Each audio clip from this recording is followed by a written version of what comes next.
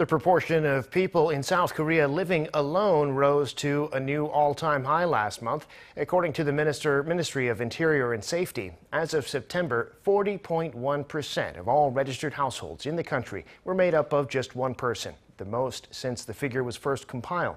On the other hand, households with four or more people accounted for just 19% of them, a drop of six percentage points in just five years' time.